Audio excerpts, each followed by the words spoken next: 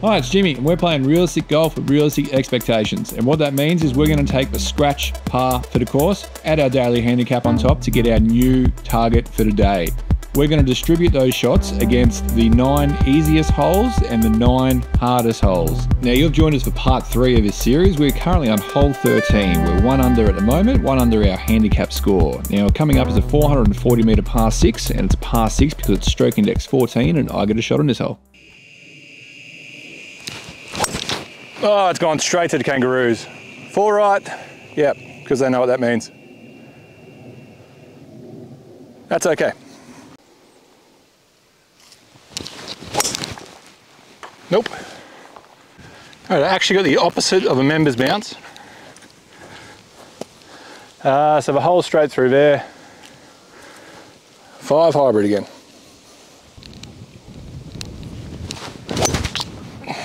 All right.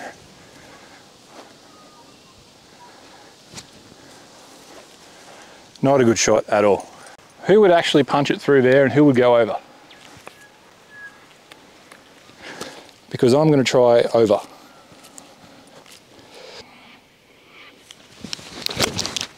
Not quite enough.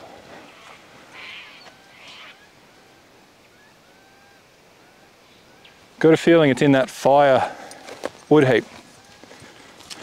Okay, it wasn't too bad. Let's just um, move this bit of bark because who cares?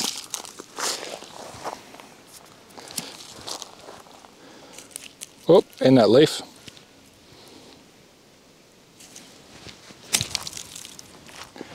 Finally a good shot on this hole. Let's get out of here before I see a snake. Golf cart's too far away, so I'm going to putt this with the wedge, which might be better.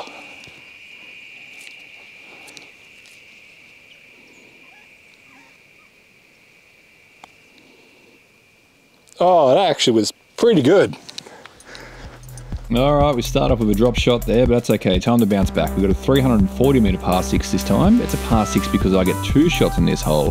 So let's see how we go. It's going to be a pretty tough one. Dog leg around to the left. Oh, hit a tree left. All right, all right, all right. So I found the ball and it was playable. It was like I can still see it, but there's a snake over there. Um, yes, I, I just, Jimmy Bunker's rule, I dropped it here because I'm not playing where a snake is. Ugh. Perfect. Oh yeah, the hole goes around that way, so I was trying to chippy six iron. All right, sorry about that. Um, if you're not from Australia, you probably don't know, but a brown snake, you don't go near a brown snake. Brown snakes actually like, can kill you. Uh, I'm out here by myself. Um, I'm not going to go. I'm not going to take a photo of it and stand next to it. I'm just going to get the out of there uh, because this is a, a rural country course, and if anything happens where I'm bitten, um, I'm in yeah a bit of strife. So I just moved a fair bit away. So um, yeah, if you comment below if you think that's worthy of a penalty, uh, I don't. But here we go. So this is uh, depending on who you ask. I'm either playing my third or playing my fourth.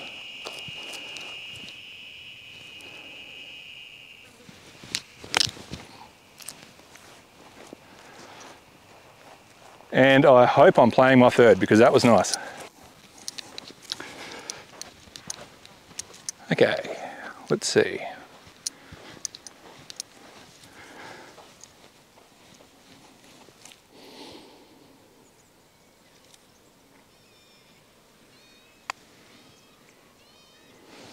Gotta hit the ball. All right, what do you think? Is that a five or is that a six? I know what I think. Yeah, I'm no good with snakes, so I just sort of left that one alone. But we're moving on now. We're up to hole 15. This one here is downhill. It is a par 4. It's 160 metres, so it is stroke index 16, so I get one shot on this hole. 160 metres downhill with the wind. High off the club face. Hybrid. Too high off a club face hybrid.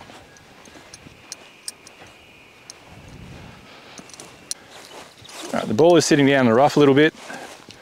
I'm going to go for a 60 degree this time instead of my um, 56 that I've been hitting most of the day, just to get underneath it and pop it up.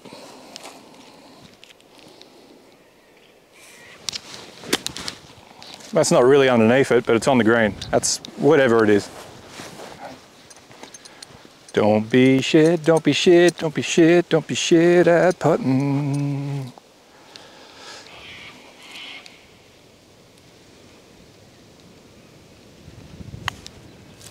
Yeah, that's not too shit. Camera can't see it now, but that's okay. It's just here.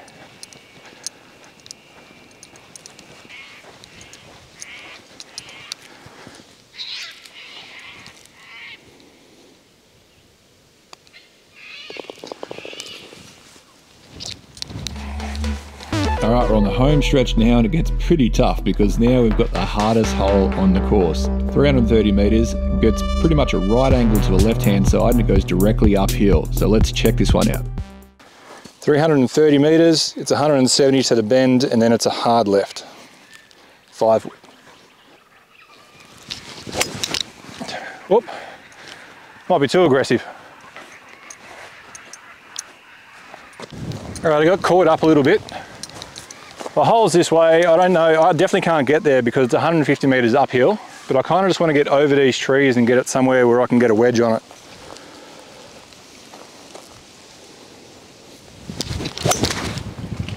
Okay, that's a that that is that works out.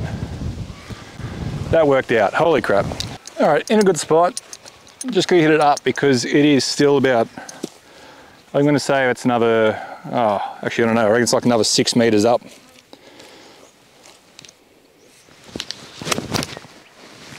Just missed the wedge to the right, but it's up there. All right, hardest hole on the golf course for a reason. Just trying to get a wedge to this point.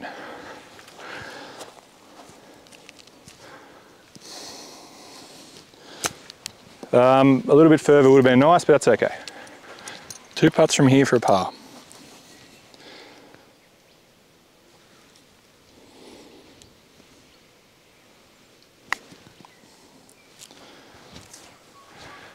All right. But I drained it. Six for two. Two holes to go. Now we go from the hardest hole on the course to the easiest hole on the course. This is 125 meter par four. Now, we're, we're on track to break 100 at the moment. We're going to try and see if we can beat it even more. So we're currently even with the card. Let's finish these last two holes off. 125 meters, nine iron. I love it.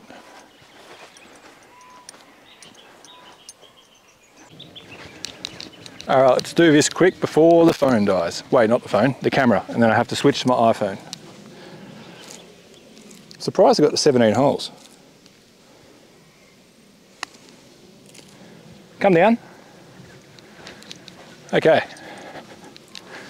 Think about it. Regulation. And just like that, we're on the final hole. Now, this is a 516 meter par seven. It's a par seven because it's a stroke index seven, and I get two shots in this hole. Now, you're actually stuck with my voiceover for this one too because the camera went flat. I'm going to kick it off with driver here, and this one finds a fairway. It's quite nice, so I'm pretty happy with that. It just sits in there, sets us up to finish off this hole really well. Now, I decided to go driver off the deck because I'm like, I've got a shot to spare. It's wide open. It'll be fine. And I made really good connection with that tree.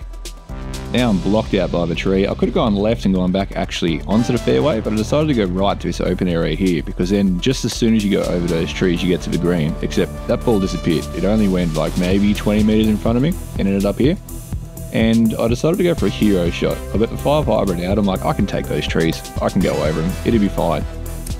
And I was right. I didn't think I actually would get it to work, but it landed on the green and it rolled so close to the hole. Like I was surprised. Like, look at that. That's insane. So after being an idiot for three or four shots, I'm actually rewarded here with a par putt. So here I am just talking about how good that was, how much of a hero I am. You should always go for the hero shot, never lay up, it's all that sort of stuff. Yada, yada. Anyway, it definitely wasn't the case. The ball did roll close to the hole. It's sort of like, I don't know, it, it, looked like it lipped out, but it, we just couldn't tell. When I mean we, I mean me and the guy on the camera, which is actually the same person. But anyway, I'm rambling now. Just hurry up and hit this putt. Come on, keep going. Line it up. You gotta take your time here. This is to shoot 95, I'm pretty sure, which is uh, well, well below our target average, which is great.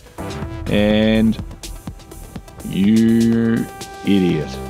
That's the golf god saying you shouldn't have done that. You played that hole terribly. Anyway, we finished the round under par. We broke 100 using Golf Sidekicks method. And I just want to thank everyone for watching because there's more videos like this coming out. So if you want to subscribe, that's great. If not, I don't really care. Do what you want. Thank you very much.